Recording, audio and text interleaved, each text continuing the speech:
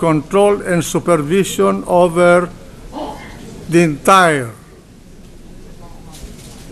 The Chief Justice are not the Supreme Court. The entire judicial system, including the members of the Supreme Court, like the power of the President of supervision and control over the entire bureaucracy.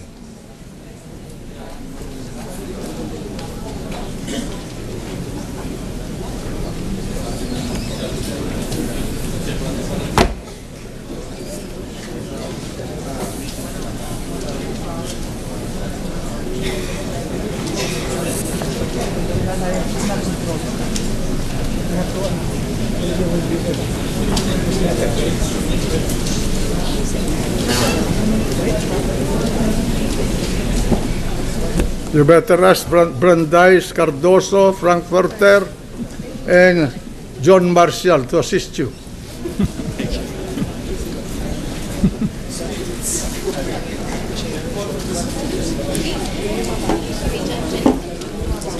Well, well, well, they are, with the kind indulgence of the Honorable Court, Your Honor, while they are looking for the article, may I place on record, Your Honor, the provision of Section 4, 2A, to 2 rather, which speaks of another regulation shall be decided by the concurrence of a majority of the members who actually took part in the deliberations on the issues in the case and voted thereon. Council, council, uh, thank you for that, but bear, bear with me, I just want them to answer that Oh, thank you. question I'm sorry, Your Honor. Because we're now dealing with uh, I'm uh, Article 3, and Yes. we're all, many of us are lawyers here.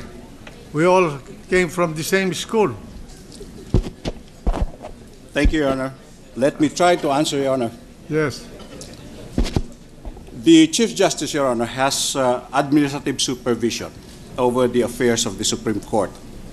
And what does administrative supervision of the Chief For instance, Your Honor- Justice entail? He chairs the sessions of the Supreme Court en banc. He is the one who directs the special raffle of cases, which include an application for a TRO. He is the one who assigns consolidated cases to the member in charge after consolidation. He is the one who orders the release of en banc resolutions to the parties. All this, Your Honor, we state to convey the notion that the Chief Justice exercises special powers which an ordinary justice does not.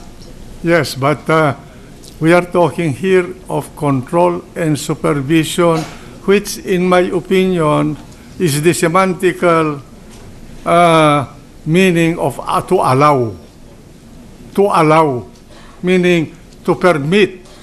Can he permit somebody to do anything that is within the discretion of that somebody?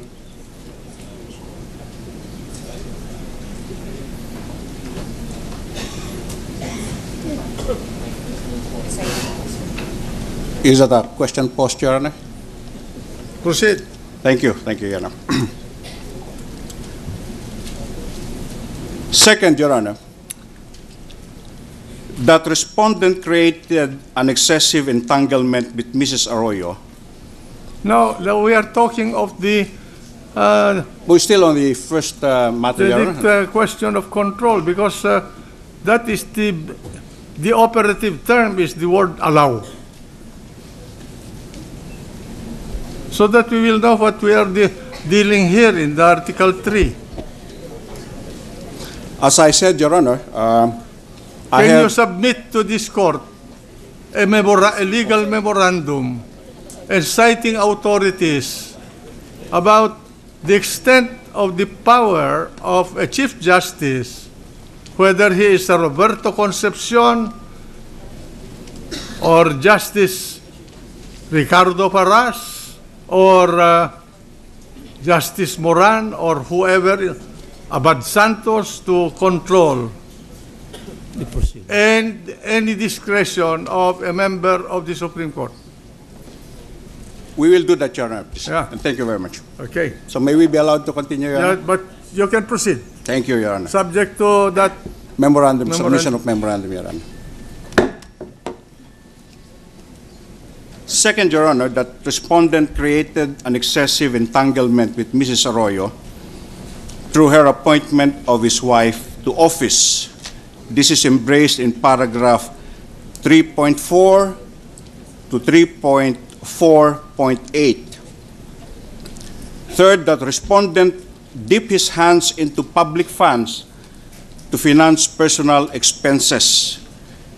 This is embraced in paragraph 3.4.9 to 3.4.10. Fourth, that respondent discuss with litigant cases pending before the Supreme Court. Yeah. This is embraced in paragraph 3.5 to 3.6.5. So, Your Honors, the presentation of our evidence will be sequential along the manner stated in our complaint. The first specific instance of wrongful act that I mentioned will be prosecuted, Your Honor, by Congresswoman Kakabag-Aw. The second specific instance of wrongful act will be prosecuted by this representation.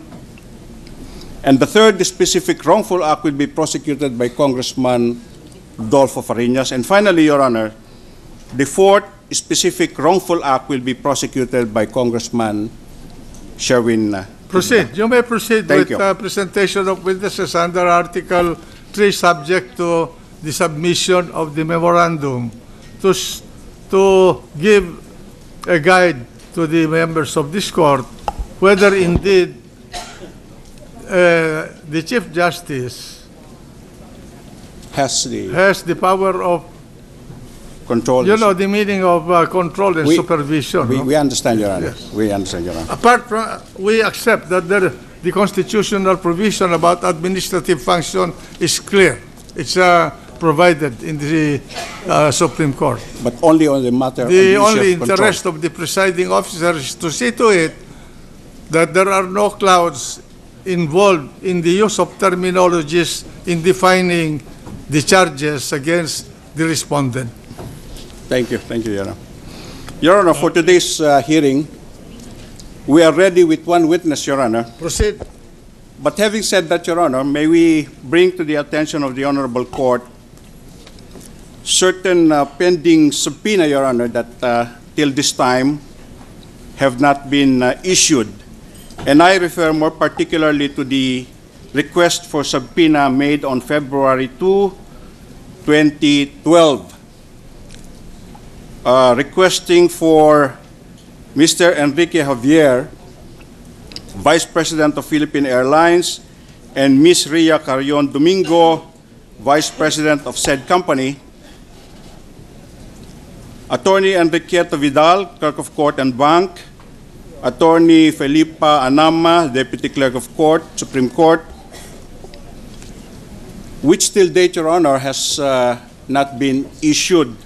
Well, And uh, The, the, the court, uh, the, this chair would like to make an explanation.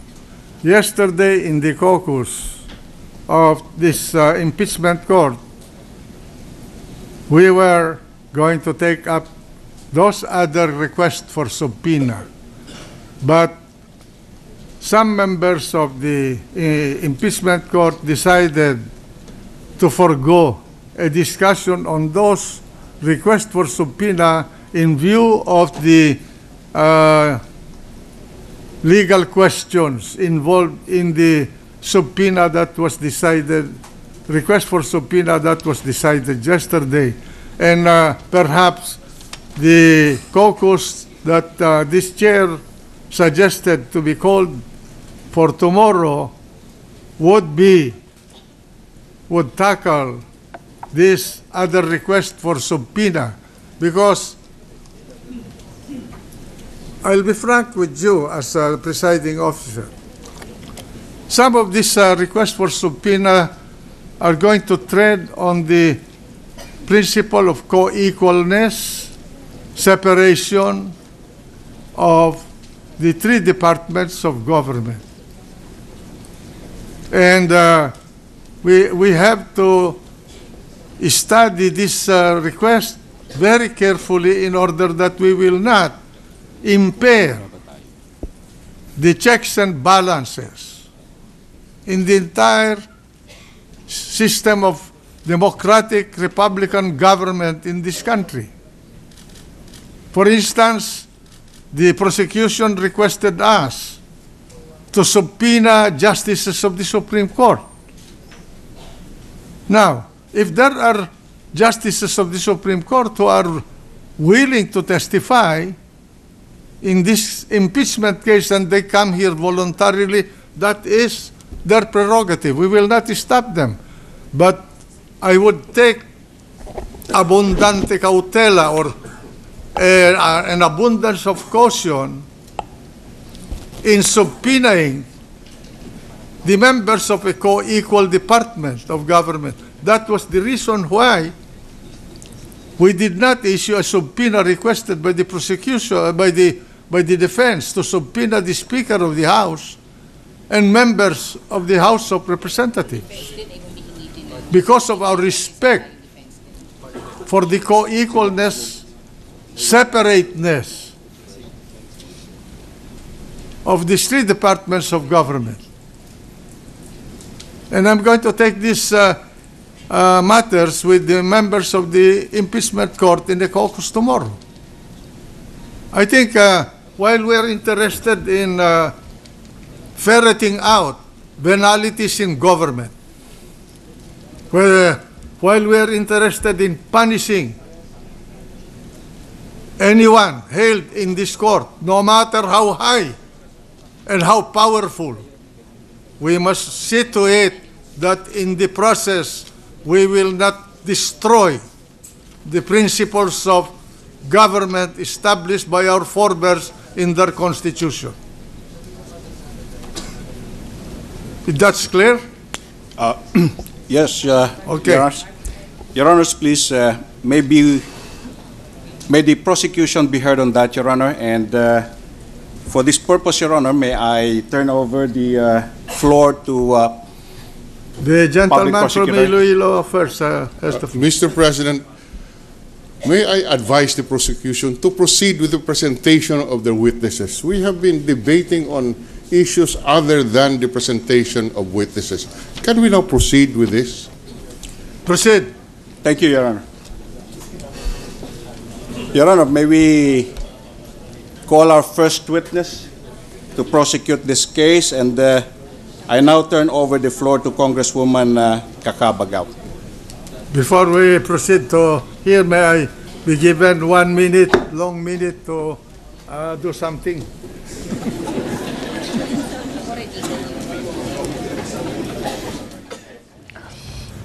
All right, Tony. Well, uh, Senate President Enrile asked for a break. I mean, we presume it's uh, it's a personal break of Yeah. some sort because clearly.